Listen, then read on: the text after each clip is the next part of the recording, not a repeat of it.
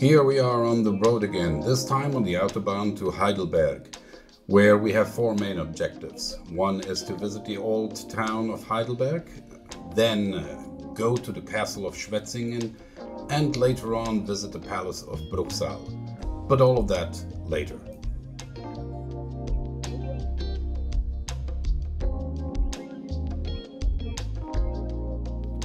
We started our walk at Heidelberg's Hauptstraße, which is the main pedestrian zone and a popular shopping street. You have probably all heard of uh, Heidelberg, which is a known university town in the German state of Baden-Württemberg, situated on the river Neckar in the southwest of Germany. Heidelberg University played a leading part in the area of humanism and Reformation and the conflict between Lutheranism and Calvinism. Heidelberg's library, founded in 1421, is the oldest existing public library in Germany. After a long walk through the old city, we walked up to the castle, which has only been partially rebuilt since its demolition in the 17th and 18th centuries. It is located 18 meters up the northern part of the Königstuhl hillside and thereby dominates the view of the old downtown.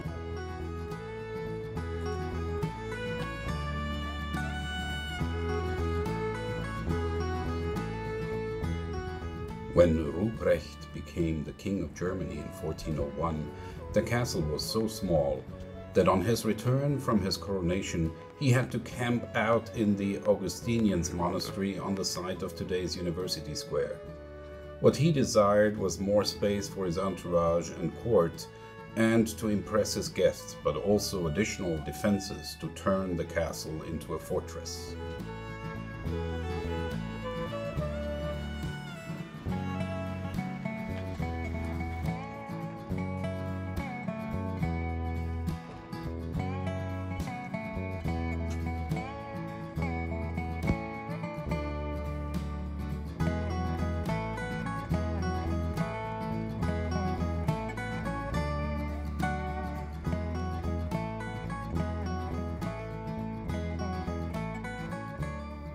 During the visit of the castle, we could obviously not miss on the great Heidelberg Tun, which is an extremely large wine vat contained within the cellars of Heidelberg Castle. There is even a dance floor on top of the barrel. There have been four such barrels in the history of Heidelberg. In 1751, the year of its construction, the present one had a capacity of uh, over 220,000 liters. Uh, but due to the drying of the wood, its current capacity is uh, 219,000 liters, which is still 58,000 US gallons.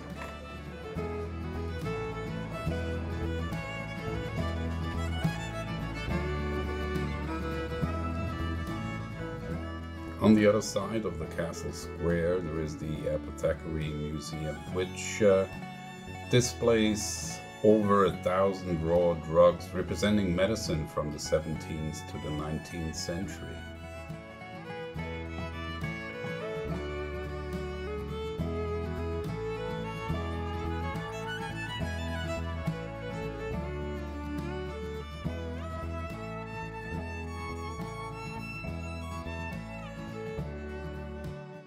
All in all, the visit of Heidelberg Castle was really worthwhile. I particularly enjoyed the park outside, which is really beautiful and has some uh, art displays and especially the view that you can see from uh, the far end of the park down to the river Neckar was quite incredible.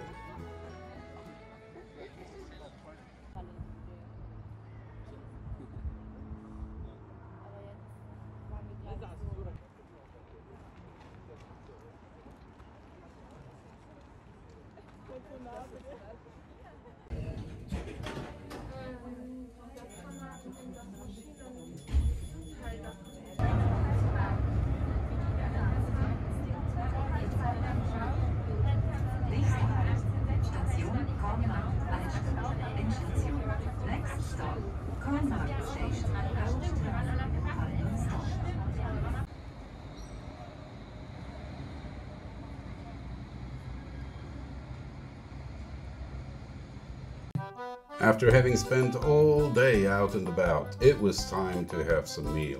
So we went for Italian. After a long day and a good dinner, we decided it was time to go back home.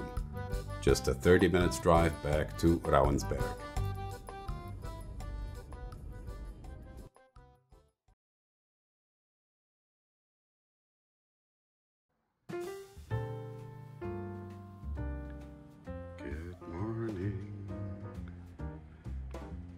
Yes, good morning indeed from Rauensberg. Today we have a long day ahead of us since we're going to visit the castle of uh, Schwetzingen and then continue uh, to the palace of Bruchsal on the way home.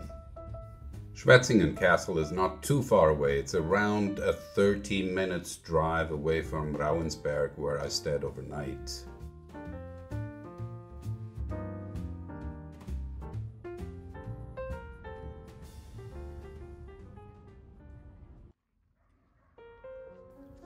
Schwetzingen Palace is a castle in the German state of Baden-Württemberg. Schwetzingen was the summer residence of the Electors Palatine Charles III, Philip and Charles IV Theodore uh, of the House of Wittelsbach. The palace is most notable for its uh, exceptionally well-preserved gardens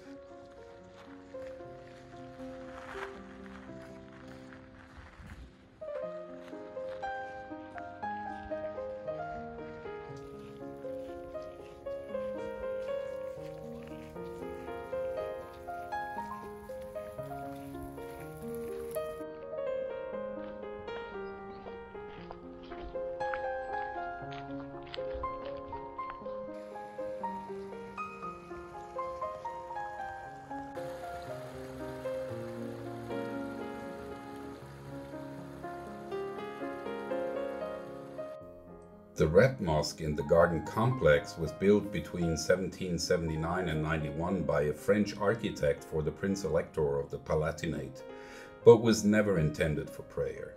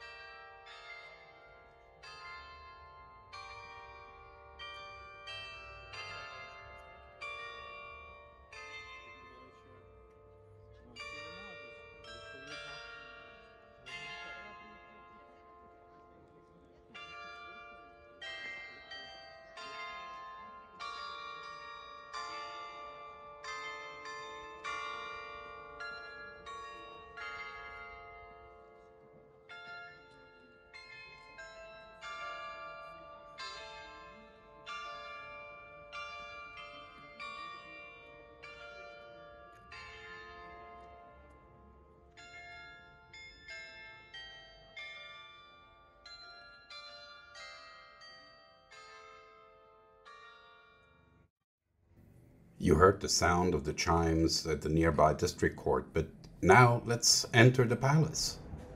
After giving our names and addresses for traceability purposes in regards to COVID 19, we bought our tickets for 8 euros each. Bruchsal Palace itself is also known as Damiansburg and is a Baroque palace complex. The complex is made up of over 50 buildings. These include a three winged residential building with an attached chapel, four pavilions separated with roads, some smaller utility buildings, and a garden. You saw the entrance staircase, which is regarded as one of the finest example of its kind in any Baroque palace.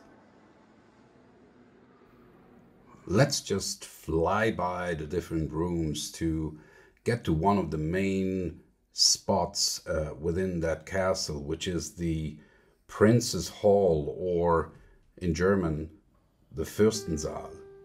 It is one of two ballrooms on the Bel Etage. It is the southern of the two.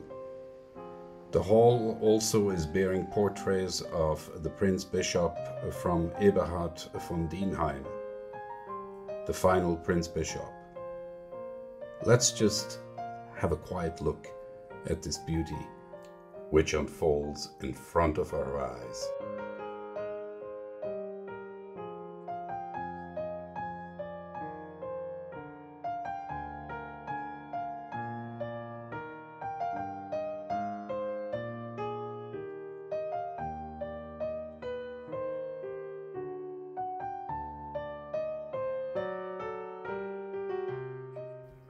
In an air raid on uh, 1 March 1945, the American Air Force attacked and destroyed the city's marshalling yard. 80% of the city was destroyed, as was Bruchsal Palace, incinerated to just the staircase and some of the facade.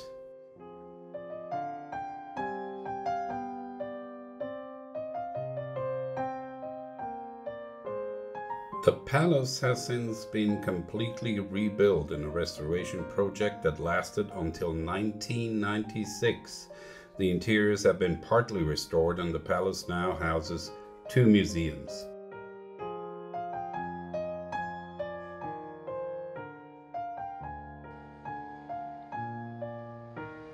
This the garden hall,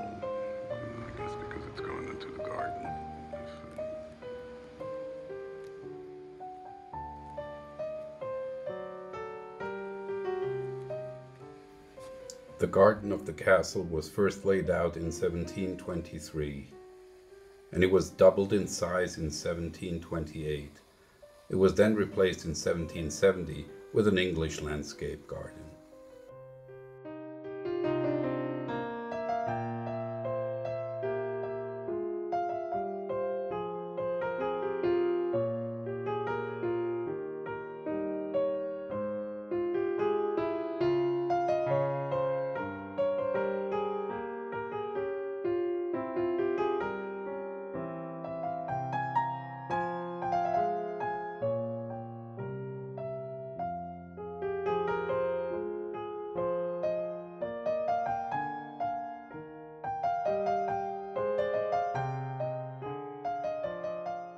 I hope you did enjoy this castle tour of Baden-Württemberg. So let's meet again on a new discovery tour. Somewhere new, sometime soon.